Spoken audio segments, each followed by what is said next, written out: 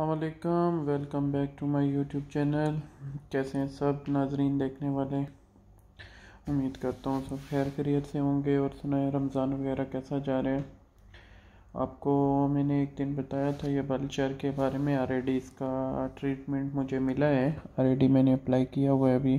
देखा ऑलरेडी बाल आना शुरू हो गए तो इसके लिए मैं चाह रहा था कि अपने नाजरीन के साथ भी शेयर करूँ कि मैं कौन सा मेडिसिन यूज़ कर रहा हूँ, कौन सा शैम्पू है क्रीम है, क्या है।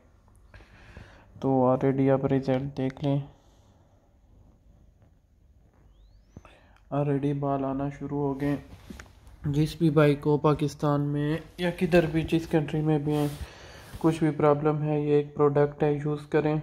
एक शैम्पू है। ये वाला। ओके, इसको लगाएँ।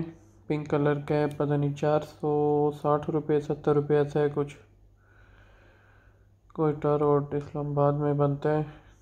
पाकिस्तान में किधर से भी आपको मिलेगा, चार सौ चौदह रुपये का ये प्राइस भी मेंशन की हुई है, चार सौ चौदह रुपये का। ऑलरेडी इसका लिंक भी दूँगा डिस्क्रिप्शन में। किसी को भी बाइक, वैसा बलचार ददर या ऐसी कोई भी सिचुएशन है, डेंड्रफ है, बाल गिरते हैं या कुछ भी है, ये यूज़ करें। मैं नॉर्मली यानी यूज़ करें नाइट में लगा के छोड़ दें, ऐसा पिंक कलर का शैम्पू का सेम सेम है, बस थोड़ा थोड़ा लगाएँ और छोड़ दें।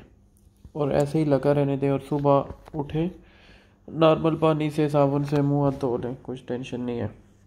आप यूज़ करें, इंशाल्लाह आठ दस दिन में आ जाएँगे। क्यों मैं तो अभी दो तीन दिन हुआ है आ रहे थे, मेरे बाल आए। लेकिन वाइट कलर के छोटे छोटे बाल थे, इसके लिए मैंने बराबर क्लीन शेव किए ताकि जितने भी बाल थे ना, दोबारा निकले। देखा, ये जगह में ऑलरेडी बाल है होल हो गए हैं। एक जगह भी बाल आ गए पहली दफ़ा लगाएँगे, थोड़ी जलन होगी और बाद में आहिस्ता आहिस्ता ठीक हो जाती है। पहली दफ़ा दवाई थोड़ी लगती है और ऐसे स्किन भी थोड़ी जल जाएगी स्किन स्किन के ऊपर से ऐसा एक छिलका सा बन जाएगा और तो ऑयल थोड़ा यूज़ करें, छिलका उतर जाएगा, बाद में इंशाल्लाह ठीक हो जाएगी. किसी भी भाई को ये चाहिए इंशाल्लाह लिंक दूँगा पिंडी इस्लामाबाद में से तो इजीली मिल सकती है.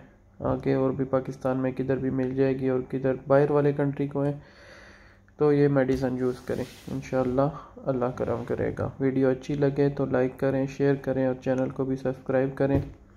सबको एडवांस ईद मुबारक भी और रमज़ान मुबारक भी।